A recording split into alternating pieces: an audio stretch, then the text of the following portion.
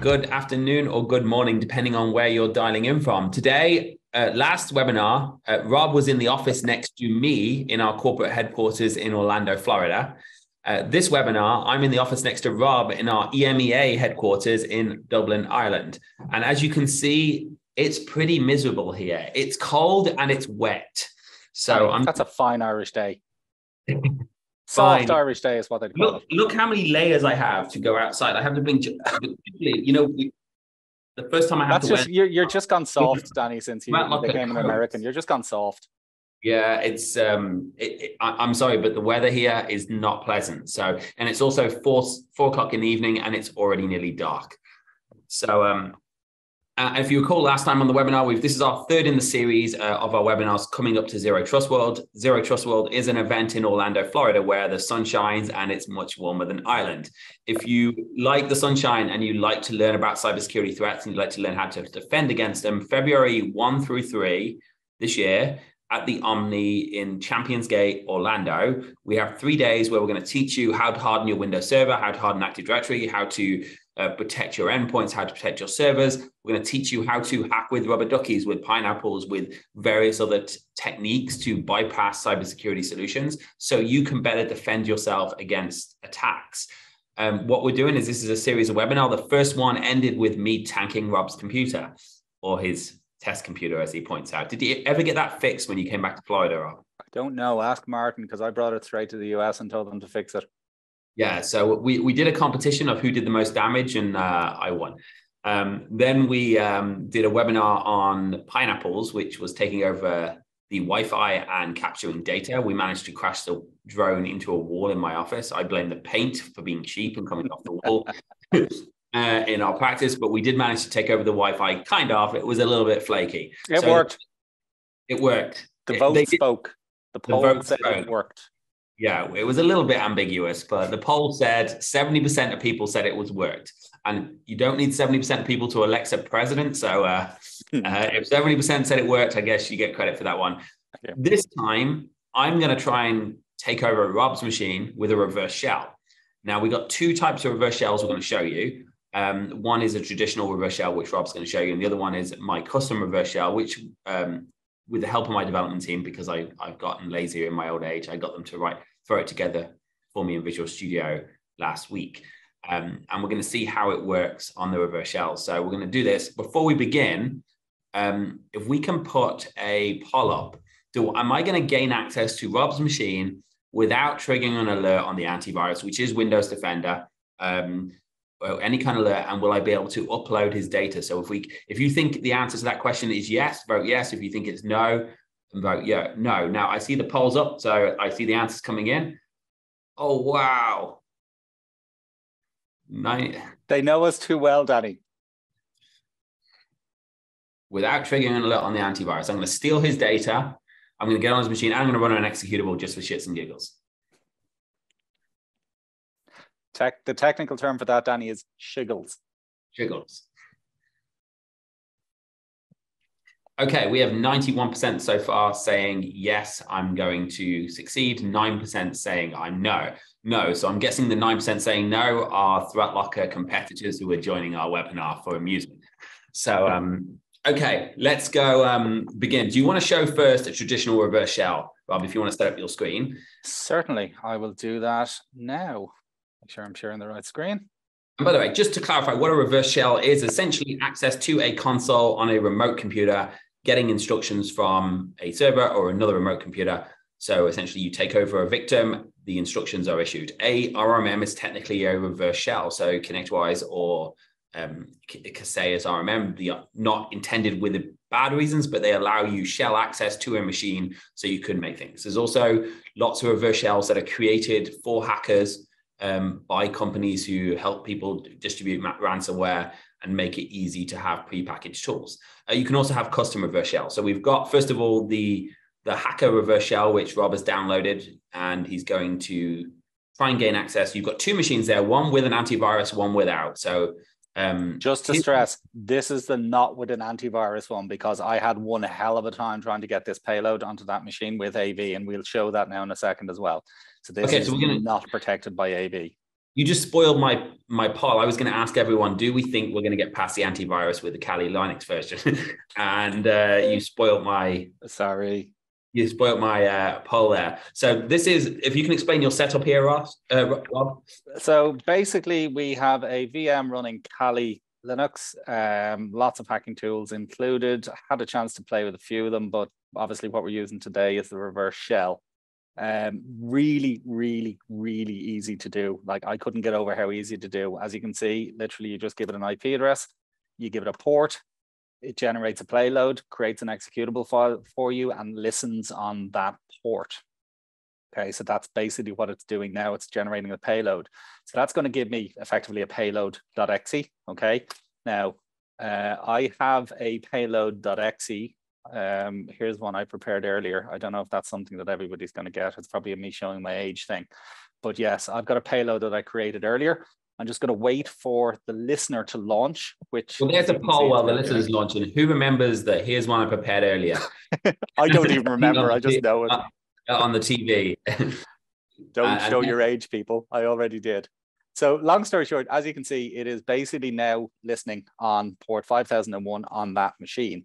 Now, that could be a publicly accessible server. Okay. So in this case, obviously it's on the LAN, two machines talking to each other, but that could be anywhere. That could be out in the internet. So it's not something that is limited to uh, two machines on the same network. As I said, this is the, here's one I created earlier. So it's the payload basically that this creates. Okay. Now, when I run that payload on my victim PC, what we should see over on the attacker's PC is this okay, which is a shell opened. So as you can see, it shows me the connections that this has received. So as I said, bear in mind, this could be out in the internet. So this could be accessible to anyone. Now, once I've done that, basically I can interact with that shell. So if I do sessions minus I and the session number, as you can see, I now have access to a command prompt shell on that machine. So that's my downloads folder. So if I do dir here, as you can see, same stuff. If I go back into my, sorry, documents folder, I can have a mooch around here and see what's going on. Okay. I can always also run commands, which is pretty scary. So if I do, for example, notepad, you'll notice here in the background, notepad has just magically appeared. I can call, for example, and I know you're going to show you, you're going to show this, so I don't want to steal your thunder, Danny, but I can also run, okay, I can run applications. Now, bear in mind that foo.exe that I just ran is one that was living locally on this machine. Okay, Danny's going to show you an even scarier one, which is the machine, uh, that file appears effectively out of nowhere. But that fundamentally is what a reverse shell looks like. So listeners created on the attacker's machine, something is run on the victim's machine, and the victim machine reaches out to the attacker's machine and can be exploited in this way. Over to you. Okay, so before I do that, just for argument's sake, your payload.exe, when you try and copy it onto a protected Windows Defender machine. Let's just do that. So here's our payload.exe. I have my protected machine over here somewhere. I'm just going to drag it over. I'm going to paste my payload. Very quickly, Windows Defender gets very unhappy. Okay, now I'm going to explain why this is because hackers make tools for other hackers to use. And if you want to distribute ransomware, you can subscribe and you can pay for, you can get some of these tools free. Uh, the more popular the tools become, the closer they are to the top of Google, the easier it is to find, the more likely the antivirus knows about it. Smart hackers that get the big pay paydays don't use very well known tools. They're either very, very quick and do it at zero day, or they write their own tools. So um, in your case, um, uh, you, you, found something too close to the top of Google, therefore it was blocked by an antivirus. I'm going to use a different approach because I used to use this approach more often and I'm going to show you my screen here. So let's do this. Uh, so one is my SQL Server here. I'm going to delete a load of rows here. Just want to I want to tidy up. Um,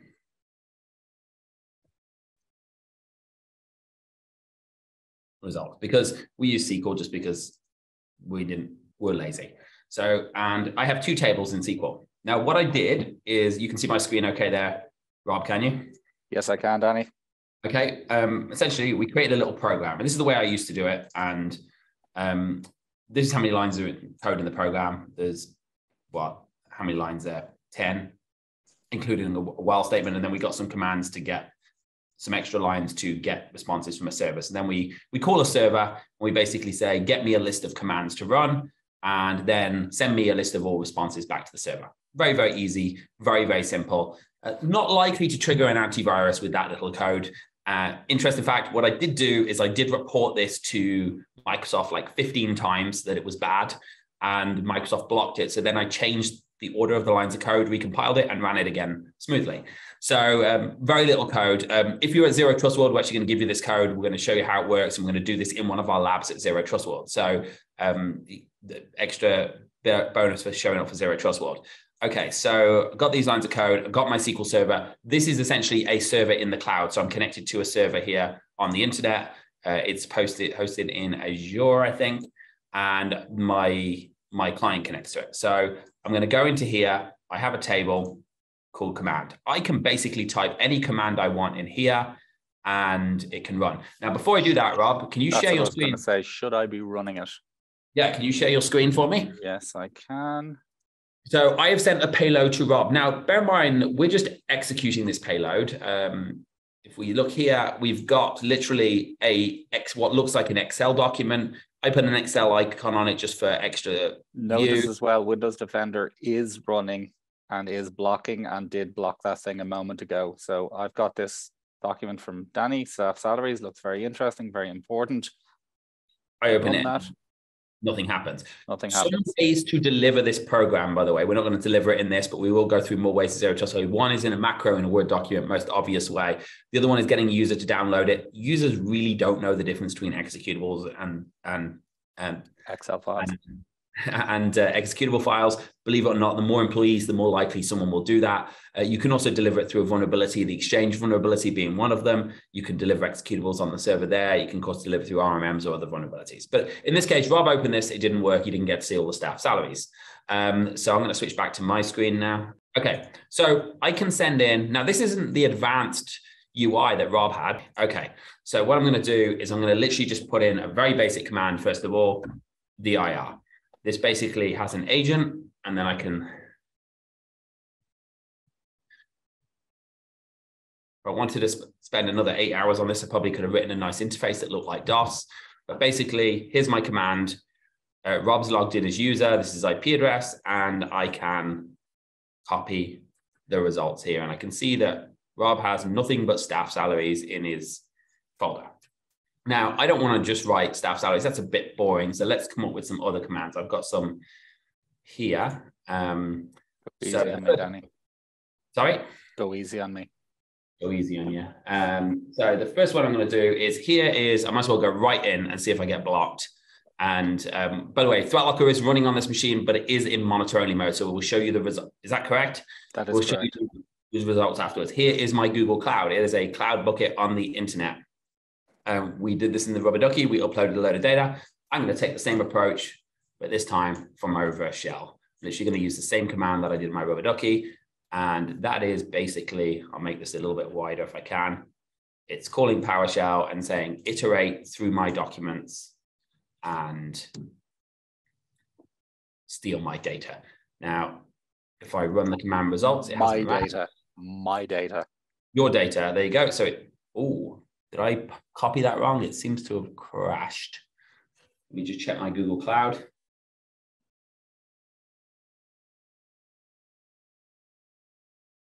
Refresh that. Oh no, it stole the data. So here you go. Uh, so I have all of um, Rob's data. How do I Can't make believe you stole my stolen document. Yeah, I've got an access database. Uh, access database. What is that built in the nineties, Rob? There's I, important I've, stuff in it, Danny. I've got a spreadsheet, I've got a stolen text file, and I've got a Word document. So I managed to get all five of them. So I, I was very easily be able to uh, iterate through those files. just to confirm something here as well. So that is actually the files themselves. It's not just the names of the files. I think you can actually, if you try the text file, Danny, you should be able to look into it and see what's in it. Okay, so let's go into the text file. Just in case people think this is just a list of files, it is not a list of files. It is the actual files themselves. Um, important things are in it, Rob. important things are in that text file, Danny. There you go. So um, so nine percent of the audience was wrong. So now let's run some more interesting things. I want to download an executable. So what I'm going to um, do, ju- just to clarify something as well, Danny, I didn't see anything happening on that machine. So okay. It, it's sitting here. I'm logged in. Nothing flashed up. I didn't get any windows. No black screens. Nothing happened. Okay. Little interesting fact: English keyboards or Irish keyboards and American keyboards are different. And this has bitten me in the ass how many times today? Because I came in and approximately Rob, one million. Yeah, uh, Robert set, very kindly set me up a docking station with multiple monitors um, and gave me an English keyboard on my American laptop. Excuse me, I gave you an Irish keyboard, Danny. An Irish keyboard made Thank in China. Um, so, uh, and um, uh, so what we did every time I go to hit the backslash key, the backslash key is the enter key in Ireland. So if you look at the keyboard, I know this is completely going off topic. We have this huge enter key, if we can see that. That is it, an appropriately sized return key, Danny, not those little Mickey Mouse things that you've got in um, in, in USA. Yeah. So when I hit the backslash key, it hits the enter key, which is really annoying me. So I'm going to do it on my laptop. Um, so here I have, I'm going to create a directory called one, two, three, four. Um, I'm going to run that command and I'm just going to check that that's created because I want to be super careful. So I'm going to get my results and then I'm going to do um, dir of c colon backslash. It really does. If you want to be a hacker, you know, I tell this the amount of college students that apply it throughout, like I say, I want to be a hacker. Um, really, you don't make money in that hacking unless it's illegal. Uh, maybe some ethical hackers do, but most don't. But if you want to be a hacker, learn IT. The amount of people that come out of college and go, well, I don't want to learn command prompt or PowerShell or code or how the Windows registry works. I just want to learn how to use Kali Linux and do a reverse shell. It really does help if you can run basic commands. So if I see here, I just want to check my directories there because I don't want to show up. I can see my test one, two, three, four. I have the next command here now, before you run this, do I want to share my screen? So what I'm going to do is I'm not going to hit enter on here. I'm going to paste this in. Hopefully I'm not going to, oh, hit enter. Oh no, I don't know if it hit enter. We'll find out in a second. Um, I'm going to hit this and Rob, if you, oh, do you want to share your screen? So basically you're just going to say, start that program. uh, do you need, do you need to download it first? Oh, thank you. See, it does help to know what commands do people. Object exercise, object list, Uh-huh. There you go. Okay, so, so stuff certainly just happened.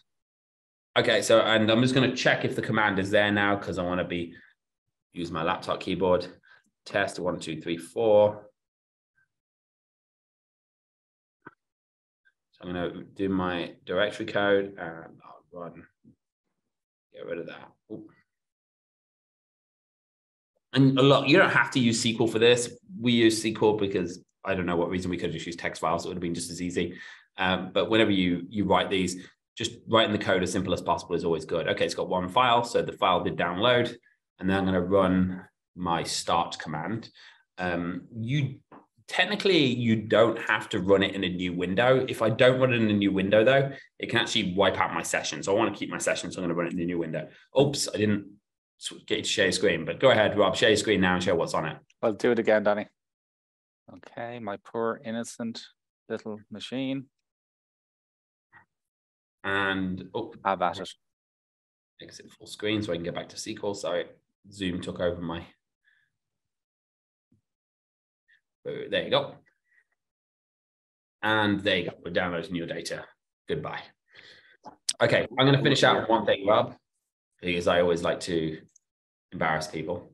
No, don't even think about it. Sorry, just a, there's a couple of questions come through, but one thing that people mentioned about was like, obviously what ThreatLocker will do about this. Um, first and foremost, um, that executable that I ran, I wouldn't have been able to run it. Okay, so default and I would have blocked that. Okay, so uh, you got your screen shared there, Rob. Okay, because um, I, I, I, like to get you in trouble at home, so just so you got some explaining to do. Let's go here. Oh, ah, okay, you got me in trouble the PG thirteen version. PG thirteen version of whatever um, somebody was asking. Oh my god! When, when you when you do this to your coworkers, please be more mature than I was earlier on when I was doing it to Rob. Yes, um, definitely. we actually managed to find a site that was banned by the Irish government. I think. Um, uh, so um, when we were sending things around, okay, um, okay, so let's move on to some Q and A, and we'll go through what ThreatLocker did. So let's pull up. Oh, there's a lot of questions.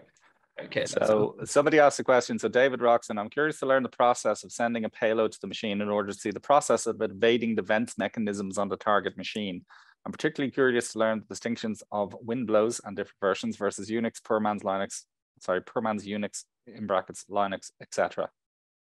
So, so I think that the, the process of getting the payload, in this case, I just sent Rob a link to download the URL. Uh, so I just sent him a download to the X to the payload saying, hey, can you download this file? Um, if I was trying to be a little bit more sophisticated, I could put a macro in a Word document to automatically download it. Um, I could, um, the, the, one I like is uh, if you get into Teams, and this is how phishing becomes a gateway to ransomware. If you get into a Teams account on your organization or OneDrive account, a Microsoft 365 account, uploading it into their OneDrive is a cool way, especially when it's got an Excel icon, replacing a file in their OneDrive with the actual malicious payload that has the Excel icon. That's why this one does have an Excel icon. So it's very useful to replace. Uh, you can send it through a vulnerability, like the off the Office Follina vulnerability. We do have a video. I believe that's on our YouTube channel as well. If not, it's probably can be posted. Um, I'm going to show you how to do that. In the last vulnerability of Office Follina, you could actually just run it directly from Office without any interaction from the user. And that did bypass um, Defender and various antiviruses on day one. Um, okay, I'm going to do this. Um, Someone asked, uh, does Rod's machine have the capacity to display the existence of a foreign process? I mean, basically that is the foreign process, staff salaries.exe. Now, obviously your average user is not going to go into task manager and looking at lists of processes to try and find weird things, but that is the foreign process. Uh, okay. Are we saying this can be run without privileges or needs admin creds? So absolutely, it can be run without privileges or and it does not need admin creds. And I we currently do not have admin creds. If we did, we'd be finishing this webinar with a blue screen. so like we did the last one, but uh, we did try that, but we do not currently have admin creds. You do not need to be an admin to run ransomware, to access data, to do anything like that. You do need to be an admin to blue screen the computer, as we found out earlier on. So mm-hmm. um, yes, you do not have to be an admin. Um, could you use a reverse shell to get the target machine to download a malicious file? Yes, David is the short answer to that question. I mean, that's fundamentally what Danny did with that boo.exe. Uh, reached out, downloaded it using PowerShell and executed it. So absolutely, you could use a reverse shell to do that. Okay, so let's do. Um, um, so can I just say that um, Kerry Wagner um, said at the very start, "Man up, Danny," and I think we can all agree with that sentiment. That's when, when, you were complaining about the weather. So I big thumbs up on that, Gary. Big thumbs yeah. up. Rob, Rob, I do remember you complaining when you were bright red in Florida. yes, I have lost my uh, my, my Paddy in Orlando hue. Actually, I, I do remember at the last webinar, maybe when people watch it, they'll notice he asked the marketing department, could they do something to tone down the redness? De-red me, yes. I did that. Me. Yeah, yes. so, uh, and I, I, I think I said a similar thing back then. Um, plus Irish people in Florida without sun cream is not smart. Um, okay. Uh, and let's, this head. Yeah. You know, we do have flat ThreatLocker caps. So um, okay, let's let's do final thing. What would we have done to stop this? Because that's important. The machine is in monitor mode. Maybe you can filter by denies on that machine. Um, that is, bear with me one second, Danny. I'm going to stop sharing my screen for one moment. Just hold that thought for a second. I mean, effectively, uh, default deny is the answer to the question. I am sharing. Am I still sharing? I am still sharing. Um, let me just show you the other machine first of all. Okay, so I mean, that is fundamentally the core of what would happen, which is you try and run the thing, it doesn't run. Um, let me just check my one. Which machine is this? Is your Kali? This is the one that ran from. This is the first one. So this is VM2. I'm just looking at VM5, and VM5 is misbehaving at the moment. So just park that. But basically, default deny is the answer to that question. What we would have done to block it. Do we lose all of the logs? Do we was that locker not running? Um, it was Let me just relog in. Oh, you've got the process payload in there as well, by the way.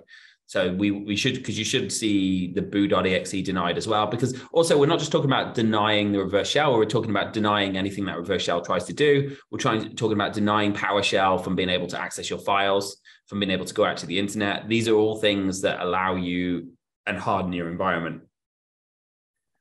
Yeah, park that thought for a minute, Danny. I hope that ends with the logs. Um, so uh, it sounds like no is the answer. I, I have many logs, but I have nothing being blocked because I don't have a default deny policy set up. Oh, so you don't have the executable logs?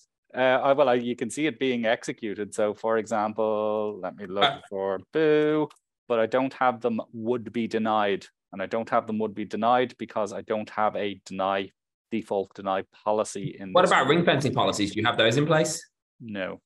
Okay, so let's let's show what would have shown in the logs. Thankfully, we didn't do a poll if uh, um, if Rob set up his threat locker properly for this machine. Yeah. Listen, you just told me we'd have a machine that wasn't blocking stuff with threat locker, which is what I did. Okay, so the first log we would have seen is the sample executable file not denied, and that would have been the end of it. But let's assume we allowed that because someone on your IT help desk decided, oh, this looks pretty cool. Let me go and allow this sample payroll, see if I can read it.exe and see if I can read it. So if that gets allowed, the next log we would have seen was boo.exe being blocked. Actually, the next log we would have seen was PowerShell failing to download boo.exe because it isn't able to reach out to the internet unless it's a trusted IP address that you specified. So it wouldn't have been able to download boo.exe. That log would have disappeared. Um, if we did allow PowerShell to download um, stuff from the internet, the next log we would have seen was the execution of boo.exe being blocked. Um, and that would have been the end of that. The next log we would have seen um, is PowerShell trying to access his very important files and all of those being denied. If we did allow those important files, we would have stopped PowerShell going out to the internet to upload those files. So lots of things would have been blocked and we would have had lots and lots of denies in the audit. Uh, what's important here, it's not about, of course, it's about using ThreatLocker. We're on a ThreatLocker webinar, but this isn't the point of security. The security point is only allow what you need. Um, the, the there's always going to be no malware out. There's always going to be bad, no bad things out there if you only allow what you need, whether it's an executable, whether it needs to go out to the internet, whether it needs to access your files, you harden your environment substantially. Um, now, on to the final things. We want to give away some tickets to Zero Trust World. Um, and we have one hosted pass and two tickets. So hosted pass, we cover your flights, we cover your hotels. Uh, you get to, you are a guest of ThreatLocker and you get hosted at our event. The unhosted pass, you get free tickets to the event. But there is a way to get free tickets without that. We're also going to email a coupon code that's valid for 24 hours after this to get a discount on tickets. There's a way to get free tickets. It's very, very easy. Go through ThreatLocker University, learn the product, go to Zero Trust World. You're going to pay for the ticket up front. Um, the, the event is a very good event. Uh, really, we're covering our costs at this event. The tickets aren't expensive anyway, but pass our Cyber Hero certification test. If you pass that test at the event, we will refund your threat locker ticket. Now, just in case you think you can bluff it and not study and go in because you've been using for threat locker, threat locker for three years, we're going to ask questions that things you probably haven't used for three years. 70% of people who took that test last year failed the test, not because it's too hard, but because they didn't go through and learn the other modules. So if you want a free ticket and you don't win today, hopefully you win. Um, get the ticket, come to Zero Trust World, and then when you're there, pass your Cyber Hero certification. If you don't pass it, you can explain to your boss why the ticket is not free, which is always an interesting uh, conversation, or to your wife, which is even worse. And James Thompson has asked, how does ThreatLocker work with UAC? Do you want to take that one, Danny? So ThreatLocker, so uh, the allow listing, which is what we've been talking about, really is about blocking executables. In addition to that, we also allow you to allow intercept application elevation requests and allow certain applications to run as an admin, even if the user isn't an admin. So if you want to allow the QuickBooks Updater to run, but you don't want to make the user an admin, you can just allow that one application to run as an admin. The user, it's seamless, intercepts the UAC prompt, and then it allows it to run as an admin. And then the cool part about that is when it's running, we can also ring fence it so it can't hop to other applications. So if you've if you've used elevation software before, you go to File, Open, Browse. You can browse to PowerShell. Now you can get into PowerShell as an admin. If you're ring fencing the application, you can't do that. And Alec has asked, how do we sign up for the test at Zero Trust? Zero Trust World, I presume I mean Zero Literally just go to the test center.